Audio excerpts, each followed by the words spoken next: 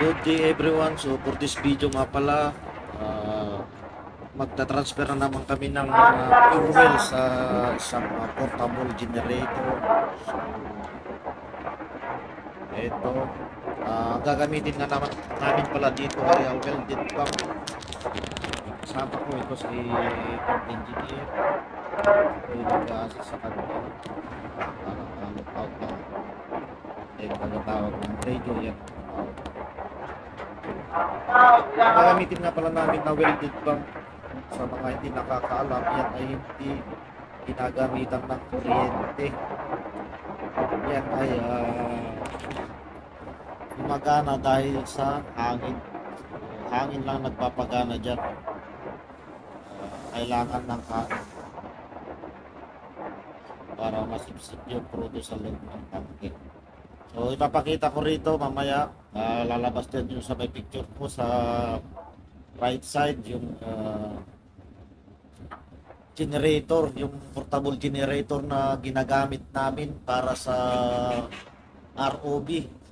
Kung uh, napanood nyo yung nakarang video ko na mayroong uh, robot na nilalaglag sa tubig, yun yung pinapagana nung uh, kakargahan, yung generator na kakargahan namin ng sa 24 hours ay nakakaubos siya ng uh, 200 liters. Ah, 400 pala. Sorry, sorry. 400 liters pala. Ang uh, nakakain niya ng crudo sa 24 hours. Malakas yan. Kasi walang tigil yun. Simula nung sumampa ako, hindi talaga nila pinapatay. So, eto na pala. Yan. Yan yung uh, portable na generator. So, ating likuran. Lagay ko na lang dyan kasi mahirap uh, kumuha ng video pag uh, takbo ng takbo. And then, siyempre, mahirap din mag-edit. Yan lang ang uh, trabaho. Uh, yes, is si third engineer. Then, tawag dun sa may generator na stop na engineer ko si third engineer air in case na magkaroon ng oil spill so makikita. So pagkaroon ako sa kaso paagapan natin oil spill.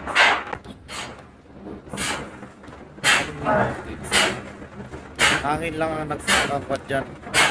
Na nagpapagana sa welded pump na yan.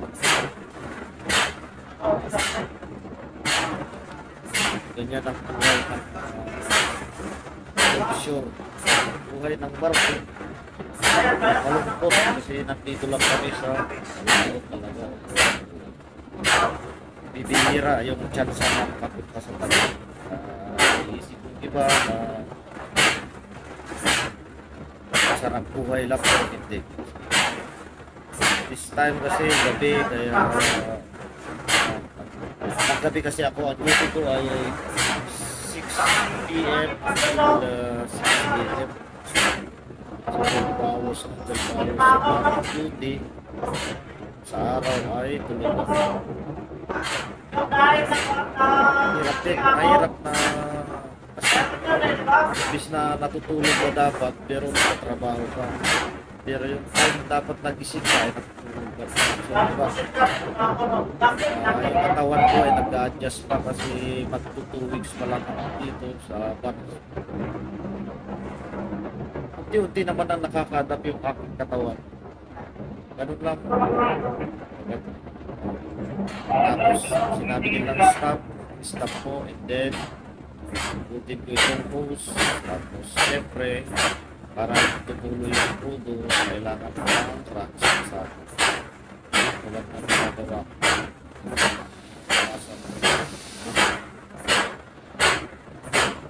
Then,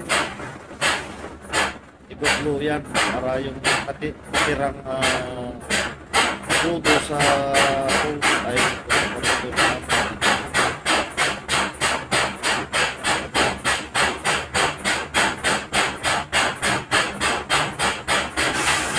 Tsaga lang din.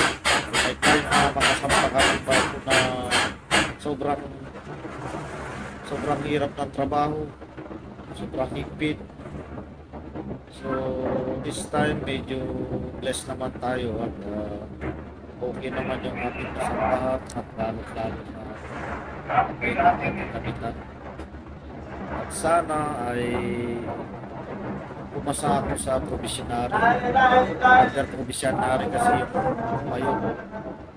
So, ang kontrata ko ay one month lang.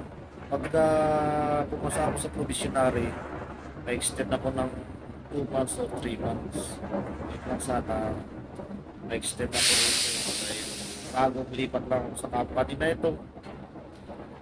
I'll do my best pa rin para sa future, para sa aming mga Ayan, ginagawa ko nga pala itong video na ito, hindi na naman para sumikat tayo.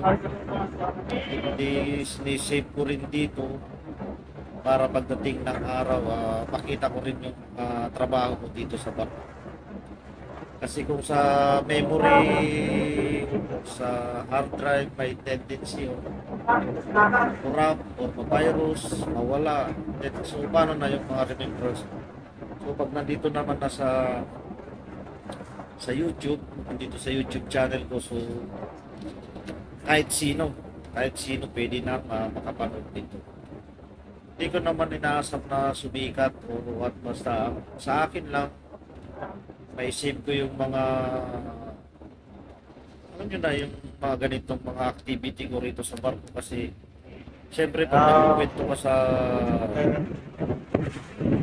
yan, pag nagkukwento ka sa Pilipinas napakahirap explain. Ano ba yung trabaho ko ano ba yung ginagawa ko mas okay ng ganito. Okay lang din sa mas okay na nga kukuha ko ng video na ganito. Then yeah. Ayan, tapos na O, papatayin ko na eh, ito. kailangan mo disconnect Eh, ano ng hangin. pressure yan.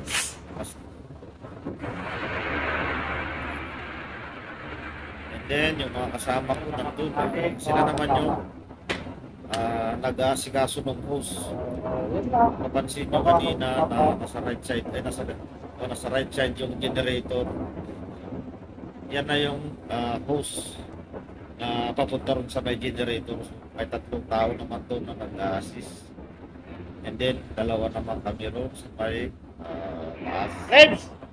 Pwede na patay compressor? yan na ginagawa namin Patay ko lang. Nagsasalin ng puto sa generator.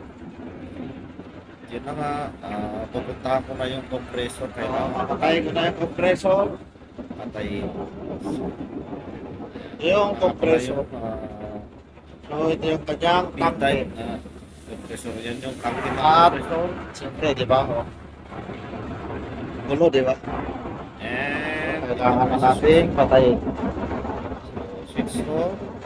Switch off, and then, Yan, yung breaker. Sige lang. Kailangan Oh. i-on for safety. ayan. And close mo yung Game, kailangan natin isarado itong ah distribution valve niya. Ayan. Close natin yan. So, ayan, kagi, oh. Kailangan helmet. Ah, kailangan Must be worn. Kailangan talaga. Big gear pants. Trabaho. Kailangan ka. Oh, ayan. PPE ka. Yan ay kasama ko. Balik sa trabaho ulit. Jack Sparrow. Kasama ko pwede na lang. Yun lang, and thank you for watching my uh, video. Sana tuloy-tuloy inyong suporta. And bless. ko lang to. Okay, bye-bye.